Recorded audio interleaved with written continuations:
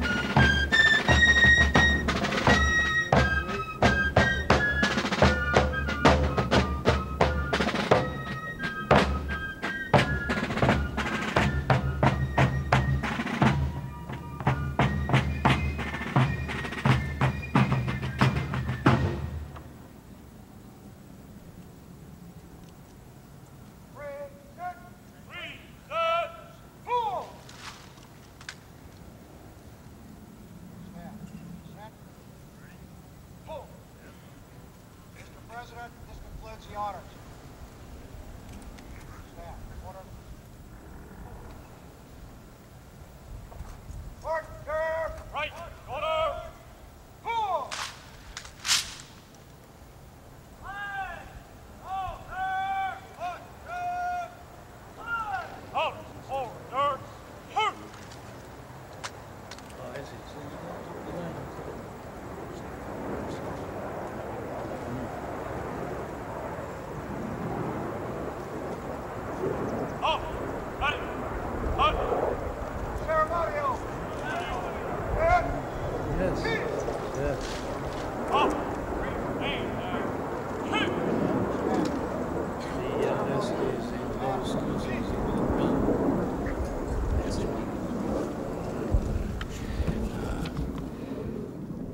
Mr. President, Mrs. Marcos, it gives me special pleasure to welcome you to the United States.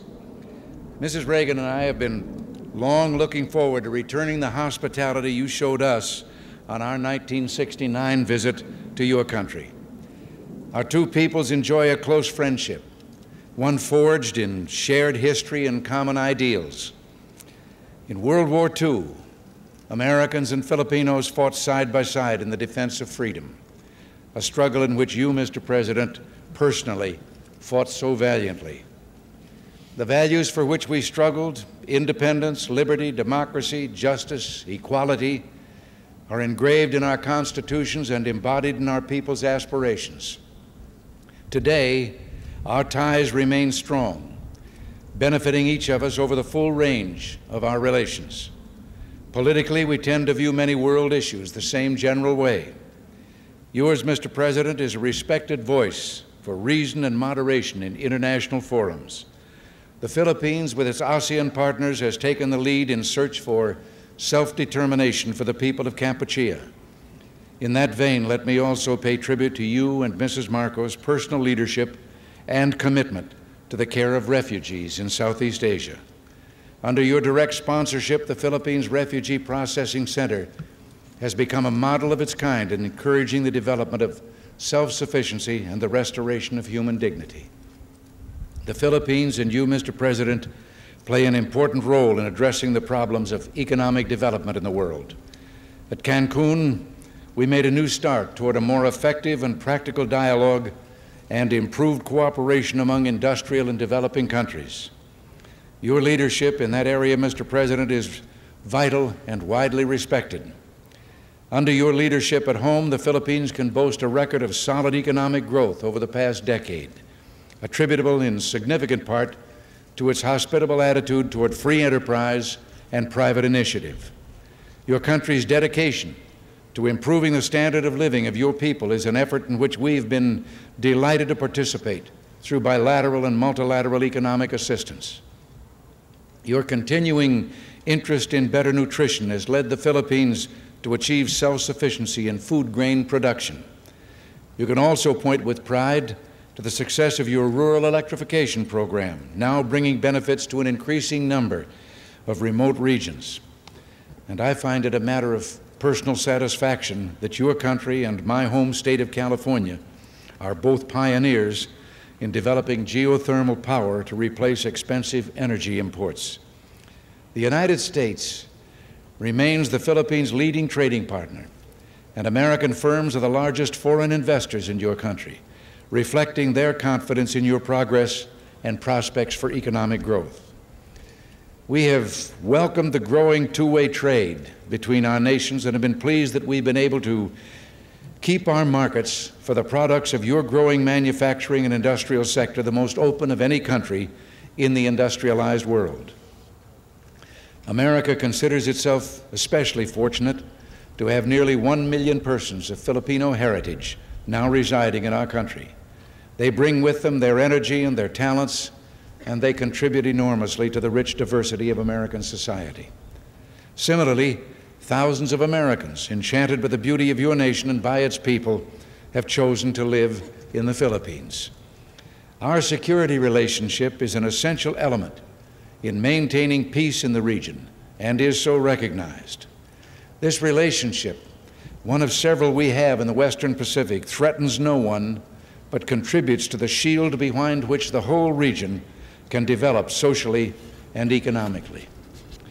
Mr. President, under your leadership, the Philippines stands as a recognized force for peace and security in Southeast Asia through its bilateral efforts and through its role in ASEAN, which is the focus of our regional policies in Southeast Asia. Mr. President, Mrs. Marcos, the United States deeply values its close friendship and alliance with the Philippines.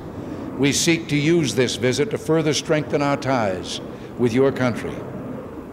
Nancy and I are personally delighted that you're here, and we say welcome to the United States, welcome to our national home.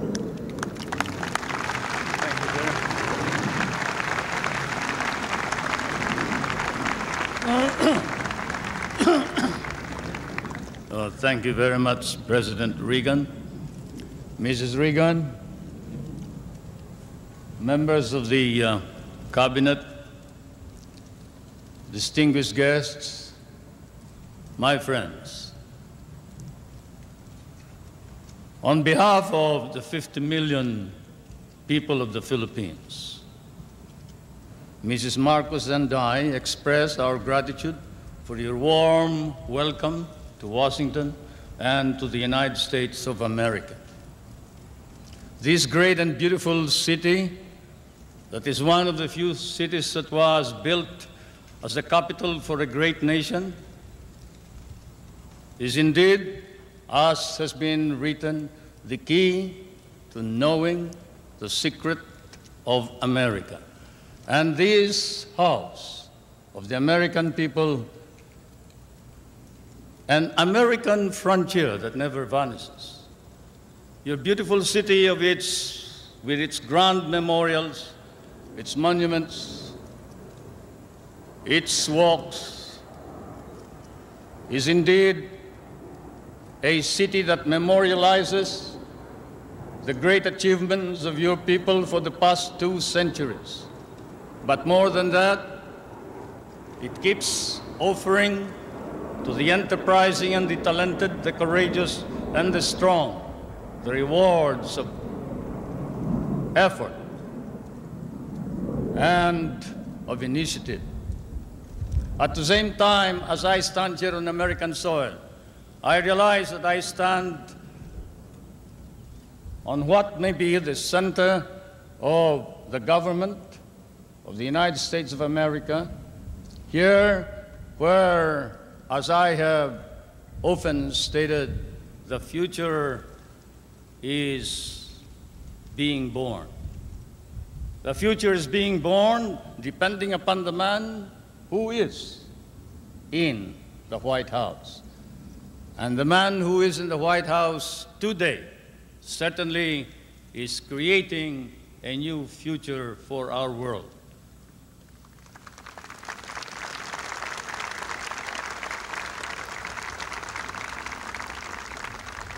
For Mr. President, I come from that part of the world wherein the poorest of the world's population live. I come from that part of the world that cherishes an image of America with its ideals, its dreams, its illusions.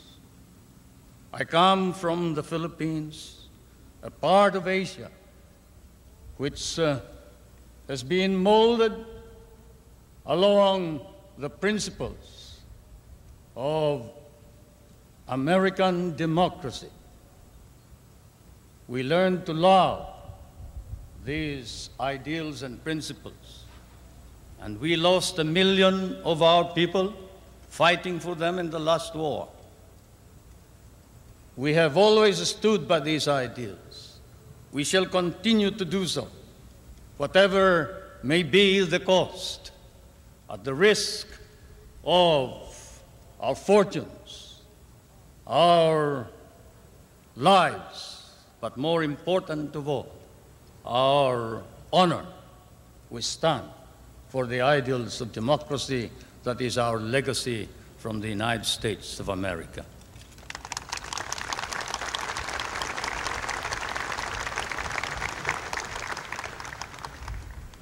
I did not come to burden you further with additional problems, Mr. President. For I know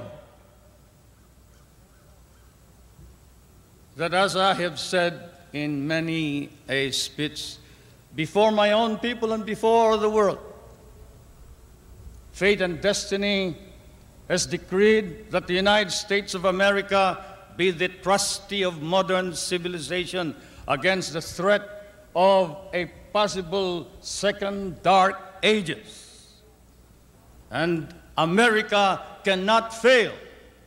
And therefore, we, the Filipino people, come and bring to you a prayer that God and His divine providence may grant you guidance, strengthen both your heart and hand, so that that hand may be strong on the lever of power and save our humanity.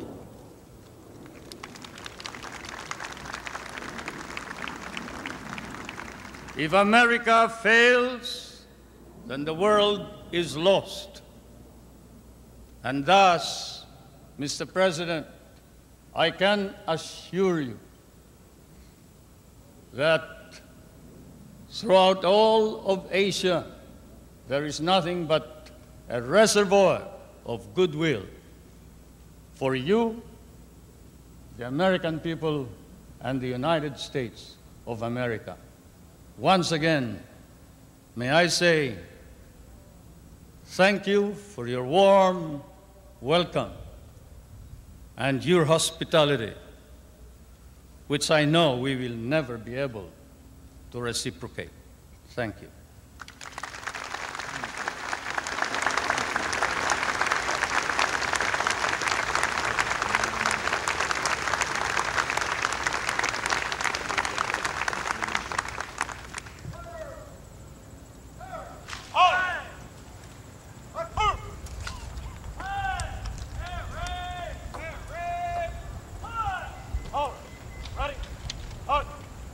Thank you. Well, should I thank you?